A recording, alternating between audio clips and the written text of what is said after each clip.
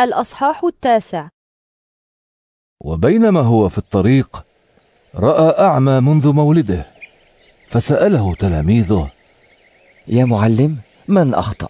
أهذا الرجل أم والداه حتى ولد أعمى؟ فأجاب يسوع لا هذا الرجل أخطأ ولا والداه ولكنه ولد أعمى حتى تظهر قدرة الله وهي تعمل فيه. علينا ما دام النهار أن نعمل أعمال الذي أرسلني. فمتى جاء الليل لا يقدر أحد أن يعمل. أنا نور العالم ما دمت في العالم. قال هذا وبصق في التراب وجبل من ريقه طينا ووضعه على عيني الأعمى. وقال له اذهب واغتسل في بركة سلوام. أي الرسول. فذهب واغتسل فأبصر. فتساءل الجيران والذين عرفوه شحاذا من قبل. أما هو الذي كان يقعد ليستعطي؟ وقال غيرهم هذا هو. وقال آخرون لا بل يشبهه. وكان الرجل نفسه يقول أنا هو. فقالوا له وكيف انفتحت عيناك؟ فأجاب هذا الذي اسمه يسوع. جبل طينا ووضعه على عيني. وقال لي اذهب واغتسل في بركة سلوام فذهبت واغتسلت فأبصرت. فقالوا له أين هو؟ قال لا أعرف. فأخذوا الرجل الذي كان أعمى إلى الفريسيين. وكان اليوم الذي جبل فيه يسوع الطين وفتح عيني الأعمى يوم السبت. فسأل الفريسيون الرجل كيف أبصر فأجابهم وضع ذاك الرجل طينا على عيني فلما غسلتهما أبصرت. فقال بعض الفريسيين ما هذا الرجل من الله؟ لأنه لا يراعي السبت. وقال آخرون كيف يقدر رجل خاطئ أن يعمل مثل هذه الآيات؟ فوقع الخلاف بينهم. وقالوا أيضا للأعمى أنت تقول إنه فتح عينيك فما رأيك فيه؟ فأجاب إنه نبي فما صدق اليهود أن الرجل كان أعمى فأبصر فاستدعوا والديه وسألوهما أهذا هو ابنكما الذي ولد أعمى كما تقولان؟ فكيف يبصر الآن؟ فأجاب والداه نحن نعرف أن هذا ابننا وأنه ولد أعمى.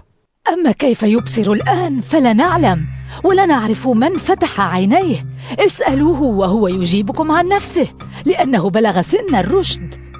قال والداه هذا لخوفهما من اليهود. لأن هؤلاء اتفقوا على أن يطردوا من المجمع كل من يعترف بأن يسوع هو المسيح.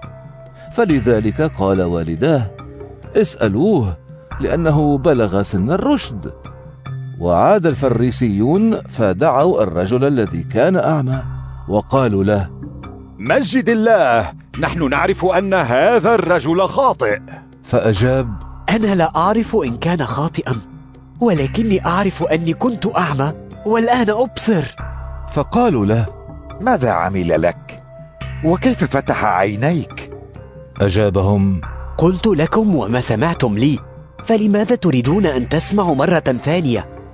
أتريدون أنتم أيضا أن تصيروا من تلاميذه؟ فشتموه وقالوا له أنت تلميذه. أما نحن فتلاميذ موسى.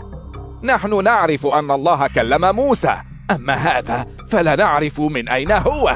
فأجابهم الرجل عجبا. كيف يفتح عيني ولا تعرفون من أين هو؟ نحن نعلم أن الله لا يستجيب للخاطئين. بل لمن يخافه ويعمل بمشيئته. وما سمع أحد يوما أن إنسانا فتح عيني مولود أعمى ولولا أن هذا الرجل من الله لما قدر أن يعمل شيئا.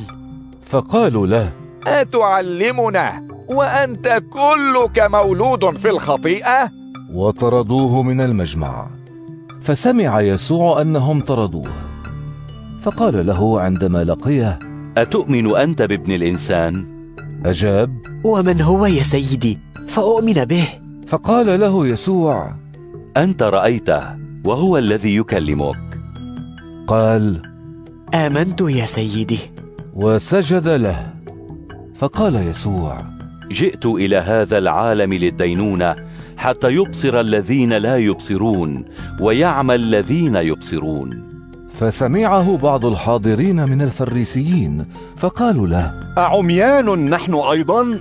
أجابهم يسوع لو كنتم عميانا لما كان عليكم خطيئة ولكن ما دمتم تقولون إننا نبصر فخطيئتكم باقية